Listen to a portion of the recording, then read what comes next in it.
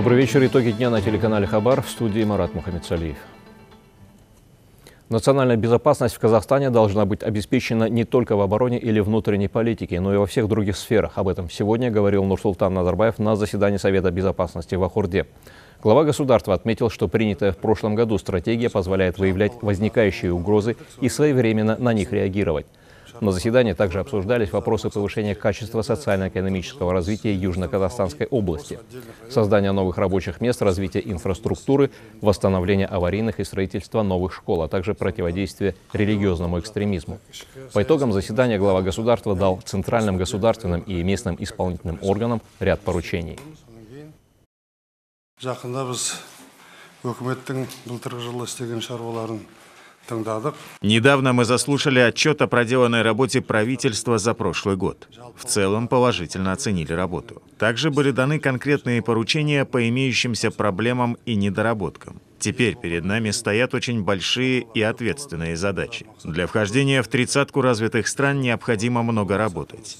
Есть несколько препятствий. По мере их решения мы должны вносить коррективы в свои государственные программы. В прошлом году мы приняли программу по обеспечению безопасности в стране. Предстоит большой объем работ во всех сферах и отраслях. Поэтому сегодня мы обсудим ситуацию, узнаем, что делается в регионах. На примере Южно-Казахстанской области уже будем давать дальнейшие инструкции другим областям. За трудоустройство казахстанцев государство намерено платить рекрутинговым агентствам. Об этом сегодня в Мажилисе сообщила министр труда и социальной защиты населения Мадина Абулкасымова во время презентации законопроекта по вопросам миграции. По ее словам, норма поможет разгрузить государственные центры занятости. При этом возможность получать выплаты от государства смогут лишь те частные компании, которые имеют опыт работы, хорошее оснащение и креативные идеи в вопросе занятости. Вознаграждение будет начисляться только в том случае, если соискатель получит официальную работу с договором на длительное время. При этом сам безработный за поиск вакансий платить ничего не должен. Отмечу, что сегодня в стране существует почти 200 центров занятости и порядка 320 рекрутинговых агентств. Мажелисмены поддержали главу Минтруда и одобрили законопроект в первом чтении. В законопроекте предусмотрено введение единой электронной биржи труда, расширение участия частных агентств занятости в вопросах занятости населения и использование индивидуальных карт э, занятости. Одним словом, вводится ряд новшеств. Насколько вводимые новшества позволяют увеличить вовлечение самозанятого населения в продуктивную занятость? И второй вопрос. Какой прогноз по охвату самозанятого населения ожидается с принятием данного закона? По нашим оценкам, вовлечение частных агентов занятости на этот год мы сможем трудоустроить дополнительно порядка 60 тысяч человек. В этом году наш целевой показатель через электронную биржу труда трудоустроить 100 тысяч человек.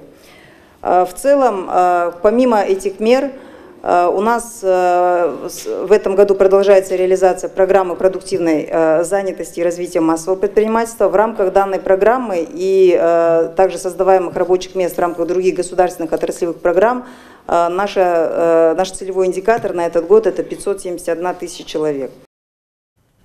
Министерстве труда и соцзащиты сегодня назвали самые популярные в Казахстане вакансии. Работодатели чаще всего ищут подсобных рабочих, воспитателей, водителей, уборщиков производственных и служебных помещений, медсестер. Вакансий почти в два раза меньше, чем резюме. На электронную биржу труда за месяц их поступило более 50 тысяч. Портал yanbek.kz работает с января этого года. Помимо государственных центров занятости, к нему подключены 34 частных агентства и интернет-площадки по трудоустройству. По данным специалистов, чаще всего работу ищут жители Южно-Казахстанской области, меньше в Акмолинской, Атраусской и Мангистауской областях. Через электронную биржу труда уже устроено 18 тысяч казахстанцев. Электронная биржа, биржа сам по себе термин – это спрос и предложение. Да? То есть, когда встречается, это своего рода рынок, где товаром выступает рабочая сила и устанавливается равновесная цена. Чем больше, условно говоря, предложений, тем более эффективно будет работать биржа. Поэтому всех приглашаем на электронную биржу труда на адрес сайта inbek.kz. По опыту Казахстана будет создана единая электронная биржа труда на всем евразийском пространстве. Сегодня об этом заявил вице-министр труда и социальной защиты Нуржан Альтаев. В ЕАЭС действует договор о свободе передвижения рабочей силы между Россией, Казахстаном, Кыргызстаном, Белоруссией и Арменией. Казахстанские продукты питания на витринах торговых сетей Урала и Поволжья. Продвигать отечественную продукцию взялись в Челябинске. Конечная цель – открытие федеральной сети магазинов с казахстанскими товарами. Какие продукты из Казахстана пришлись по вкусу российским потребителям, выяснял Артем Грапов. Эту торговую точку с родным для казахстанцев названием в Челябинске открыли полгода назад. Товары из Казахстана практически сразу завоевали популярность у местных жителей. Сладости, колбасы, макароны, молочная продукция – все это пользуется спросом у челябинского потребителя. В магазине, который расположен в центре города, больше 500 наименований отечественных продуктов питания. Магазин сотрудничает с десятком казахстанских поставщиков. Пока. В этом году ассортимент здесь хотят увеличить. Мы с удовольствием будем расширять и ищем места, все, чтобы у нас была сеть прям таких магазинов полного цикла. Чем вызвана популярность произведенной в Казахстане продукции, рассказали простые покупатели. Отличается по вкусовым качествам. Чувствуется, что нет наличия, допустим, порошковых содержателей каких-то, чего-то еще. Действительно качественно. Но пока закон спроса и предложения здесь работает не так, как хотелось бы отечественным производителям продуктов питания. По мнению экспертов, есть две объективные причины. Любые предприятия сталкиваются с тем, что рынок уже достаточно заполнен. Это во-первых. Во-вторых, 45-50% продаж э, имеют федеральные торговые сети, да, то есть, а на них выйти очень сложно, там, до пол, полгода, год, пол, полтора года подписываются контракты, и полочное пространство в таких магазинах ограничено. Оказать содействие казахстанским производителям решили представители Уральского экономического союза. Для начала челябинские общественники займутся продвижением товаров в российских торговых сетях. Сеть э, магазинов в разных регионах – это наша такая конечная цель. Пока это будет склад, ну, не будет он уже, как бы, э, существует этот склад, где будет храниться продукция раздельно каждого предприятия. Такие склады должны появиться, э, ну, пока на Урале, это на Тюмени, Екатеринбург, Пермь, в этих городах, Магнитогорск, Челябинск обязательно. Вот. Ну а дальше мы пойдем шире. В перспективе новая торговая сеть раскинется от Москвы до Новосибирска. Речь идет о создании совместного предприятия, где партнеры будут иметь равные доли. И здесь, по мнению челябинцев, самым важным фактором остается желание казахстанской стороны. По итогам переговоров пока только 10 отечественных компаний, производящих мясные деликатесы, чай и кондитерские изделия, готовы стать участниками этого масштабного проекта. Артем Грапов и Сергей Трахтенберг. Итоги дня. Челябинск. Россия. В приграничного сотрудничества «Харгос» в нынешнем году планирует возвести почти 80 объектов. Расположатся они на 100 тысячах квадратных метров торгово-развлекательных площадей. Кроме города ремесленников и торговых центров, начнется строительство казахстанского аналога Диснейленда. Еще одной отличительной особенностью «Харгоса» станет масштабная цифровизация. Исключение человеческого фактора при въезде туристов, при въезде автотранспортных средств – также внедрение программы «Умный город» или «Безопасный город». За последние 10 лет объем инвестиций в инфраструктуру Казахстана достиг 30 миллиардов долларов США. Транспорт и логистика должны обеспечить рост казахстанской экономики, поэтому сегодня перед отраслью стоят масштабные государственные задачи. Одна из них – довести ежегодный доход от транзита грузов в 2020 году до 5 миллиардов долларов. Очередной паром из Азербайджана швартуется к казахстанскому порту Хорок. Морская гавань стала еще одним выходом из Казахстана на Кавказ и в Европу. В прошлом году в порту было обработано больше миллиона тонн грузов. Отсюда на экспорт теперь идут казахстанские зерно, уголь, нефтепродукты, удобрения, химикаты и транзитные грузы из Средней Азии и Китая. Сейчас мы готовимся к отправке транзитных грузов из Китая. В основном это контейнерные перевозки. Мы тесно сотрудничаем с азербайджанскими портами. Кроме этого налаживается контакты с иранскими и туркменскими коллегами. В прошлом году по железнодорожным магистралям через Казахстан перевезено больше 16 миллионов тонн транзитных грузов. По мнению экспертов, основной драйвер в увеличении грузопотока – направление Китай-Европа. На этом маршруте обеспечен двухкратный рост транспортировки. Перевезено 200 тысяч контейнеров. В текущем году транзит контейнеров запланирован на уровне не менее 500 тысяч контейнеров. То есть э, обеспечим дальнейший рост к достигнутому результату 2017 года. Такие показатели закономерные. За последние 10 лет Казахстан инвестировал в транспорт и логистику почти 30 миллиардов долларов. За этот период проложено свыше 2000 километров железных дорог, реконструировано больше 6 тысяч километров автодорог, до 26 миллионов тонн увеличены портовые мощности на Каспии, реконструированы 15 аэропортов. Интенсивное развитие инфраструктуры положительно сказалось на показателях страны в международных рейтингах. С 2011 по 2017 год наша позиция по показателю качества инфраструктуры в индексе глобальной конкурентоспособности Всемирного экономического форума улучшилась на 14 пунктов. Работа по устранению инфраструктурных ограничений продолжается и сегодня в рамках реализации государственной программы «Нурлыжол». По государственной программе «Нурлыжол» за последние два года построено 2000 километров автомагистрали, соединивших Астану со всеми регионами страны по лучевому принципу. Полностью завершено строительство казахстанского участка международного коридора Западная Европа, Западный Китай. В целом по программе «Нурлыжол» в текущем году реализовывается 23, 23 проекта на общую сумму порядка 3, 2 триллионов тенге. Данные меры значит, к 2020 году мы планируем охват дорог в целом 4200 километров, что позволит э, в 2020 году улучшить состояние дорог в хорошем состоянии до 90%. Решение задач по развитию транспортной логистики будет способствовать росту объемов транзита через Казахстан. К 2020 году на транзите республика сможет зарабатывать до 5 миллиардов долларов. Хареджи Румбай, Болотбек Табалдиев, Саламат Бекпаев. Итоги дня. К событиям в мире. Ситуация на Ближнем Востоке грозит ростом радикализации, заявил сегодня генеральный секретарь ООН Антонио Гутерриш, выступая в Совете Безопасности. Заседание посвятили урегулированию арабо-израильского конфликта, который в последнее время вошел в новую острую фазу. Представляющий на заседании в Совбезе Казахстан первый заместитель министра иностранных дел Мухтар Тлеуберди призвал к восстановлению доверия между конфликтующими сторонами.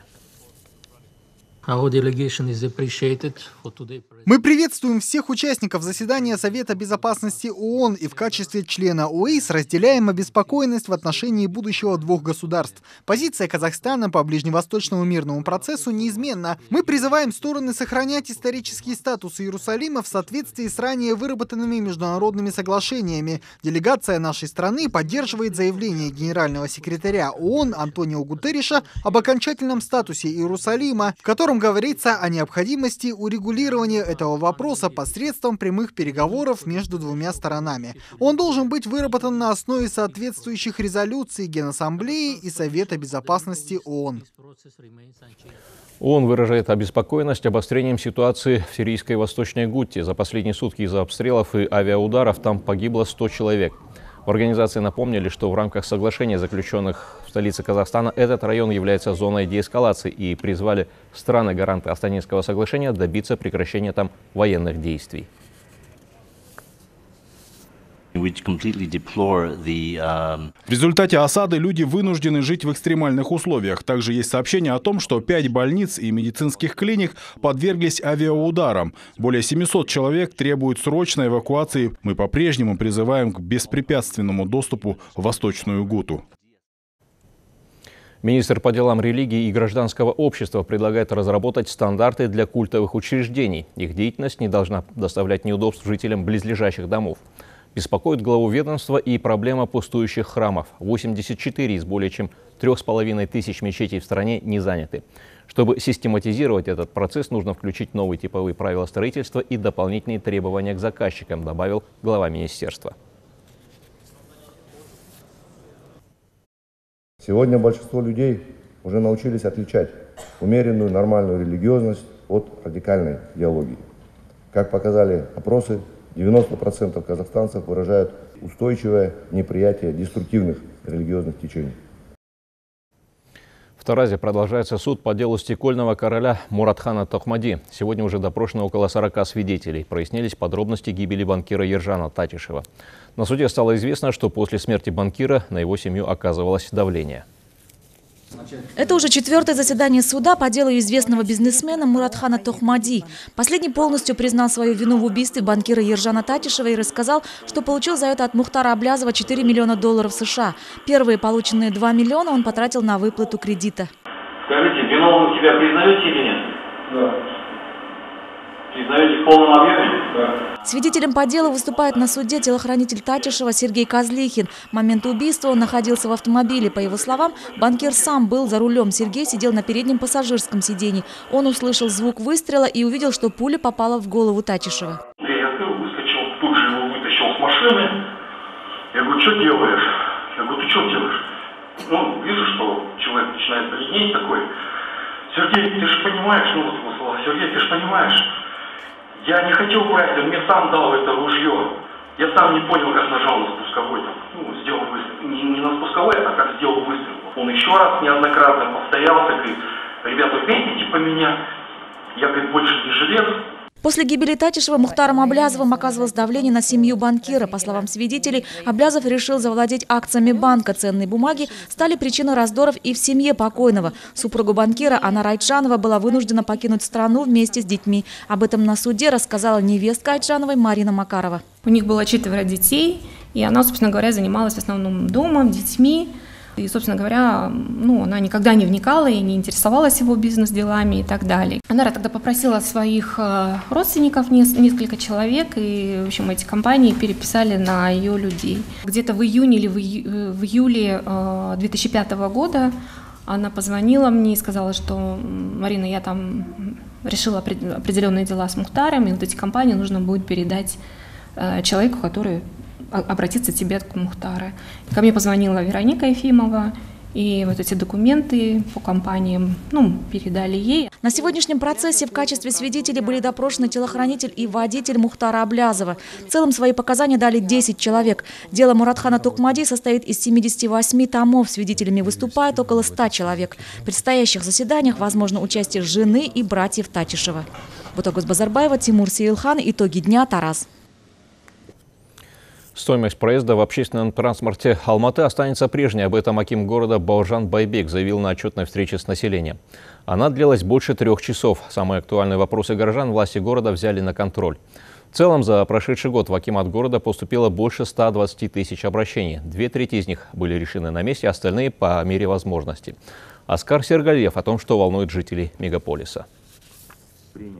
Платных парковок в алматинских дворах не будет. Владельцам же квартир, желающих избавить дворы от неместного транспорта, Аким Байбек предложил установить шлагбаумы. Прежней останется и стоимость проезда в автобусах и метро. Если бы не дотации города, поездка в подземном транспорте обошлась бы в 713 тенге. Дороже были бы и комуслуги. На их субсидирование за три года Алматы выделил 3 миллиарда тенге. Почти полтора миллиона алматинцев получают коммунальные услуги по ценам, которые сдерживаются. И над этим каждый день мы работаем. А это почти 80% населения.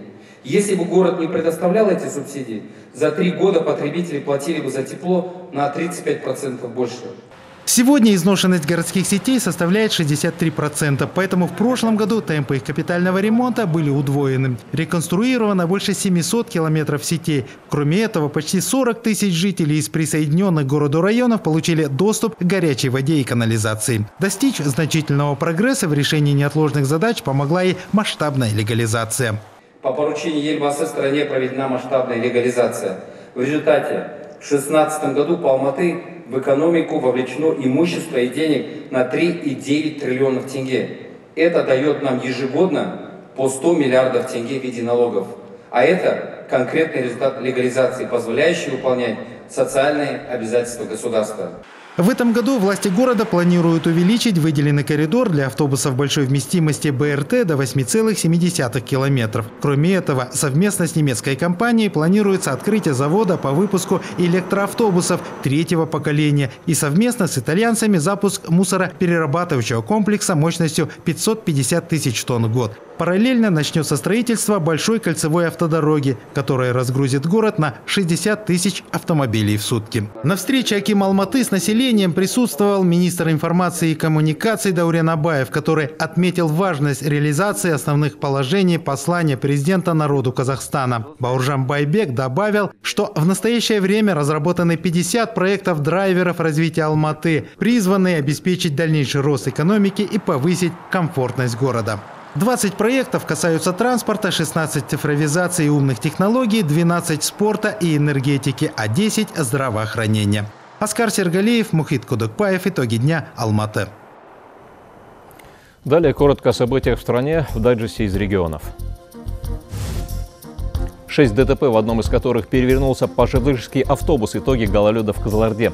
От непогоды пострадали почти 110 человек. Улицы и дороги города после дождя и снижения температуры превратились в каток. От наледей тротуары весь день спасали коммунальные службы, но погода справилась лучше. После потепления лед растаял. В семье вспышка ОРВИ. Число вызовов скорой помощи в сутки возросло до 700. Одна из причин распространения вирусной инфекции – сезонные перепады температуры воздуха, говорят медики. В западно-казахстанской области готовятся к паводку. В регионе пока сохраняется морозная погода. Синоптики же отмечают, что высота снежного покрова на 30-80% ниже прошлогодних показателей. Однако глубина промерзшего грунта вдвое больше, чем в прошлом году. Для профилактики с борьбой с саранчой 350 тысяч гектаров южно-казахстанских полей планируют обработать химикатами уже в первой декаде апреля. Реконструкция двух основных магистральных трубопроводов протяженностью около трех километров намечена в Уральске. На это выделено больше миллиарда тенге по программе «Нурлы-Жол». На сегодняшний день городские тепловые сети изношены на 52%. Коррупционных рисков в учебных заведениях Кызылорды все еще достаточно. Представители мониторинговой группы по итогам анализа деятельности городских колледжей и госучреждений выявили около сотни нарушений. Год мониторинга городских колледжей позволил экспертам выявить массу недочетов. Чаще всего это отсутствие открытости на вступительных экзаменах, прозрачности распределения образовательных грантов, субъективная оценка успеваемости студентов. В 9 из 15 учебных заведений коррупционные риски оказались реально высоки. Мы э, выявили такие э, коррупционные риски, как э, очень большое количество сотрудников в колледжах трудится на э, 0,5 ставки. Естественно, многие директора э, объясняют это тем, что этих для них не хватает каких-то учебных часов, что э, по трудовому законодательству они не могут их уволить. При анализе мы заметили, что э, есть стандарты, есть такие э, документы, которые друг другу противоречат. Это, конечно, проблема, которая должна решаться на уровне Министерства образования, поэтому и на этом уровне мы тоже даем свои предложения колледжи, госорганы, коммунальные предприятия. В общей сложности за год мониторинга выявлено 97 нарушений. К примеру, спецсоне сотрудники РЭО не очереди выдавали зеркальные госномера на автотранспортные средства. По факту выписаны рекомендации, на основе которых четыре сотрудника отдела привлечены к дисциплинарной ответственности. Коррупционные риски члены мониторинговой группы углядели и в работе городской жилищной инспекции, ветеринарных служб, коммунальщиков и энергетиков. Глава государства в своем послании подчеркнул, что в условиях четвертой промышленной революции борьба с коррупцией станет одной из приоритетных задач. Постоянный мониторинг позволяет нам вовремя выявлять причины и условия, способствующие коррупции, и минимизировать риски. В этом плане положительный эффект дает и цифровизация процессов в госорганах, включая взаимодействие с населением и бизнесом. Сейчас ведется мониторинг деятельности КУИС и учреждений здравоохранения. До конца года коррупционные риски выявят в районных отделах образования и местной полицейской службе. Алибек Башуленов, Альхайдар Турлыханов, Руслан Айтмамбетов. Итоги дня. Кызылординская область.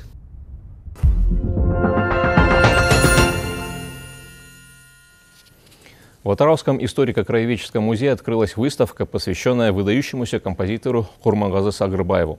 В экспозиции копии документов времен Бокеевской Орды, редкие фотографии, предметы быта, рассказывающие о времени, в котором жил и творил Курмангазы и его личные вещи. Самый ценный экспонат нашего музея является подлинное ружье Курмангазы Сагарбаева. Эту реликвию наш музей передала семья известного композитора Кашга Ахмедьярова, где оно хранилось многие десятилетия. Такими были новости дня. Всего доброго. До свидания.